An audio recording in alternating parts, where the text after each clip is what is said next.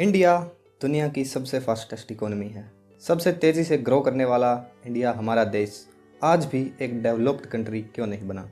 चलिए समझते हैं इस वीडियो में ऐसे कौन से रीज़न हैं, ऐसे क्या कारण हैं, जिनकी वजह से इंडिया आज भी इतना पीछे रह गया है।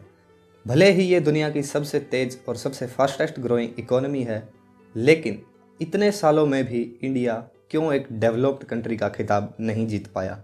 इस वीडियो में कुछ ऐसे कारण समझेंगे जो शायद हमारे देश को पीछे करने का सबसे बड़ा रीज़न है। So without wasting any time let start point number one दिखावे की देशभक्ति। सरकार को दोष देने वाले सरकारी बाबू पहले तो ऑफ़िस में लेट आते हैं और आने के बाद एक घंटा वो आराम करते हैं। ये रूटीन तो मानो जैसे उनका रोज का ही हो गया है। एक घंटे के लंच को दो घंटे का बनाने वाले हमारे ये देशभक्त उस ऑफ़िस में जिसमें काम करते हैं, उसी के पीछे वाली दीवार पर पेशाब करके आ जाते हैं, जिस पर साफ़ साफ़ लिखा होता है कि यहाँ पेशाब करना मना है। दस दिन से ये किसी आदमी के डॉक्यूमेंट्स के लिए चक्कर पे चक्कर कटवाते रहते हैं, और ऐसे डॉक्यूमेंट शायद जिनकी ज़रूरत भी ना हो। और थक हार कर अगर वो इंसान सारे डॉक्यूमेंट ले भी आता है, तब उसकी फ़ाइल को ये ऐसी जगह अटका देते हैं जहाँ से फ़ाइल का निकलना बड़ा ही मुश्किल हो जाता है। लोगों के डॉक्यूमेंट पूरे नहीं होते, जिसकी वजह से बहुत से काम वहीं पर रुके रह जाते हैं। कई लोग पैसे के लालच में लोगों के बार बार डॉक्यूमेंट्स के लिए चक्कर कटवाते रहते हैं। वो डायरेक्ट तो बोलेंगे नहीं कि उन्हें पैसे चाहिए, और लास्ट में जब इंसान थक हार कर ये पूछ लेता है कि ये काम कितने में होगा, तब उन्हें वो अपने दाम बताते हैं। यहाँ पर अमीर लोग तो पैसा देकर तुरंत अपना काम करवा लेते हैं, या फिर जो बंदे सिफारिश रखते हैं, वो तुरंत बड़े ऑफिसर से कहकर अपना काम एक या दो दिन में करा लेते हैं। वहीं दूसरी ओर गरीब इंसान महीनों तक चक्कर काटता रह जाता है और उसका काम फिर भी नहीं होता। इसके अलावा कुछ सरकारी ऑफ़िस में कंप्यूटर पर ऐसे इंसान को बिठा दिया जाता है जिसे कंप्यूटर पर टाइपिंग तक नहीं आती। वो एक लाइन लिखते लिखते पूरा एक घंटा लगा देता है। इस चक्कर में एक दिन की फ़ाइल इकट्ठा हो जाती हैं, फिर दो दिन की फ़ाइल और ऐसे करके बहुत सी फ़ाइल पेंडिंग में ही रह जाती हैं और काम कभी पूरा ही नहीं होता। इन्हें घर जाने की बड़ी जल्दी होती है। ड्यूटी खत्म होने के घंटा पहले तो ये काम करना ही छोड़ देते हैं। ये आराम से रिलैक्स होकर बैठ जाते हैं और कोई भी नई फ़ाइल आगे प्रोसेस ही नहीं करते। हर कोई ऐसा नहीं है, लेकिन हमारे सरकारी डिपार्टमेंट में सचमुच में बहुत सारे ऐसे लोग हैं जिन्होंने हमारे देश के इतने सारे काम अटका रखे हैं, जिनकी वजह से हमारा देश आज भी बहुत पीछे है।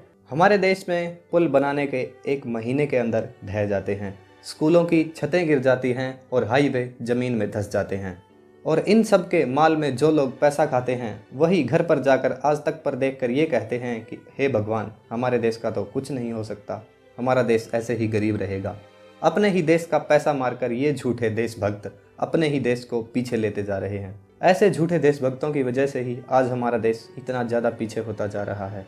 अंग्रेज़ों के टाइम में भी अंग्रेज़ों की गिनती हम भारतीयों से बहुत कम थी। लेकिन ऐसे ही झूठे देशभक्तों के कारण जिन्होंने अंग्रेज़ों का साथ दिया और हमारे देश के लोगों का साथ नहीं दिया, इसी वजह से अंग्रेज़ हमारे ऊपर इतने साल राज करके चले गए। Point number two mentality issue doctor से ज़्यादा काले जादू पर विश्वास करने वाले लोगों की हमारे देश में कोई कमी नहीं है। ये वही लोग हैं जो शायद मंदिरों में लाखों का चढ़ावा देकर आ जाते हैं, लेकिन जब वो बाहर जाते हैं तो उनकी गाड़ी के पीछे भाग रहे छोटे बच्चों को वो दस रुपये देने में भी रोते हैं। वो लाखों कमाते हैं लेकिन मंदिर से बाहर आकर वो कभी ये नहीं सोचते कि ये बेचारे बच्चे बाहर क्यों घूम रहे हैं, क्यों इनको कोई पढ़ाने वाला नहीं है, क्यों आज भी हमारे देश में इतने सारे बेचारे गरीब लोग हैं। इनकी मदद कैसे की जा सकती है? ऐसा कोई भी नहीं सोचता है। इसके अलावा हमारे देश में बहुत सी जगह पर आज भी लड़के और लड़की में बहुत ज़्यादा भेद किया जाता है। जहाँ लड़के को पूरी आज़ादी होती है घूमने फिरने की, वहीं लड़की को पूरी बंदिश के अंदर रखा जाता है। जब लड़की जवान होती है तो माँ बाप को फ़िक्र होने लग जाती है। वो ये सोचते हैं कि कहीं ये भाग ना जाए, हमारा मुँह ना काला करा दे। लेकिन वो कभी ये नहीं सोचते, उसको भगा ले जाने वाला किसी का लड़का ही होता है। लड़की की किताबें छीनकर उसे झाड़ू पकड़ा दिया जाता है। उसकी पढ़ाई के पैसे उसके दहेज के लिए इकट्ठे कर लिए जाते हैं। अब यही कम पढ़ी लिखी बेटी एक दिन कम पढ़ी लिखी माँ बनेगी और अपने बच्चों को भी वो पढ़ाई की कीमत कभी नहीं समझा पाती, क्योंकि उसे खुद को पढ़ाई की कीमत का नहीं पता। और इसी वजह से पूरी उम्र अपने ससुराल में वो गालियाँ भी खा लेती है और मार भी खा लेती है, लेकिन बोलती नहीं है। आज भी हमारे देश में ऐसे लोगों की कमी नहीं है जिन्हें दहेज चाहिए। अगर हर बेटी का बाप दहेज देने से इनकार कर दे तो किसी बेटे के बाप में ये हिम्मत नहीं होगी कि वो आगे से दहेज ले ले। कोई भी अपने बेटे को कवारा नहीं रख सकता। अगर हम सब मिलकर ये काम करें तो ये असंभव नहीं है। अगर हम एक गाँव के आगे बोर्ड लगा दें कि इस गाँव में ना तो दहेज लिया जाता है और ना ही दहेज दिया जाता है। अगर इस वीडियो को देखने वाले लड़के हैं तो मैं उनसे यही गुजारिश करूँगा कि भाई, ज़िंदगी में कभी दहेज मत लेना, अगर कोई दे, तब भी मत लेना। और अगर इस वीडियो को कोई लड़की देख रही है तो मैं उनसे यही कहूँगा कि तुम खुद अपने आप को इतनी काबिल बनाओ कि सामने वाला आपको ऐसा मिले जिसे दहेज की ज़रूरत ही ना हो।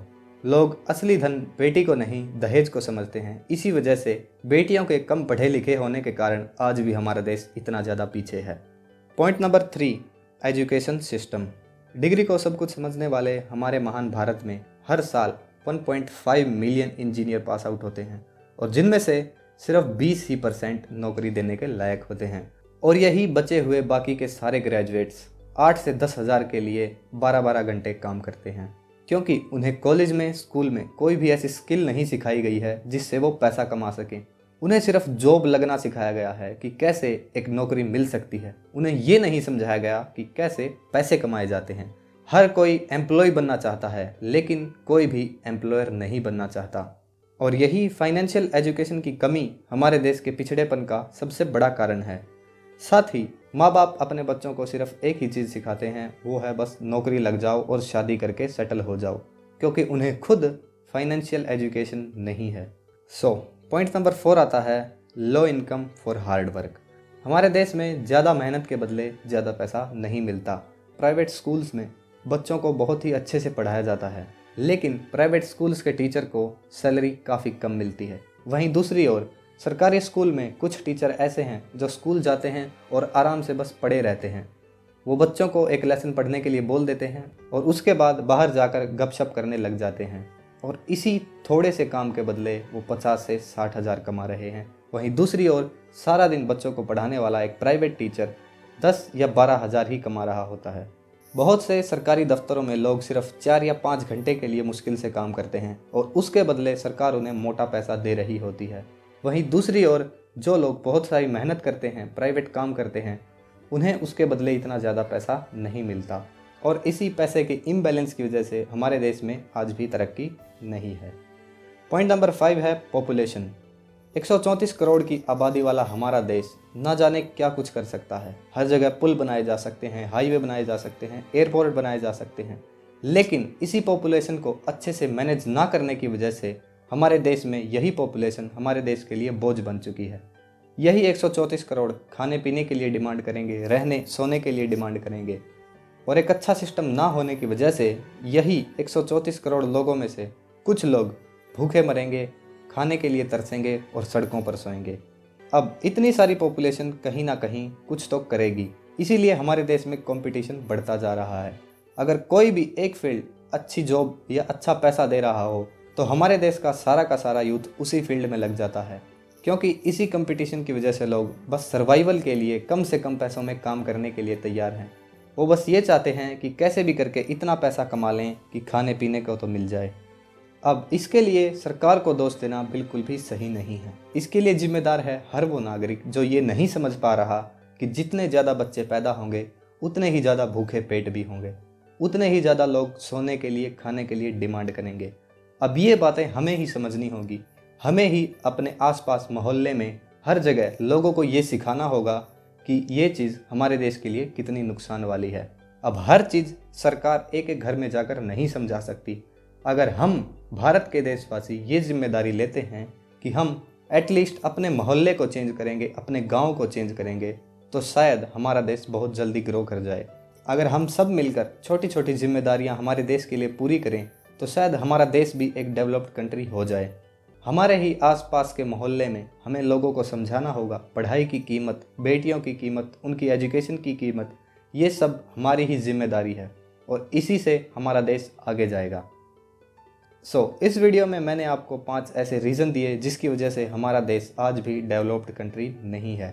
इस वीडियो का मैं पार्ट टू भी बनाऊँगा जिसमें मैं पाँच और पॉइंट बताऊँगा जो हमारे देश के पिछड़ेपन का सबसे बड़ा कारण है। सो so, मैं उम्मीद करता हूँ ये वीडियो आपको पसंद आई होगी। अगर आपको ये वीडियो अच्छी लगी है तो कमेंट सेक्शन में तो ज़रूर बताएँ और लाइक करना ना भूलें। और जाते जाते सब्सक्राइब ज़रूर करें। थैंक यू दोस्तों मिलते हैं नेक्स्ट वीडियो में। तब तक के लिए good bye and take care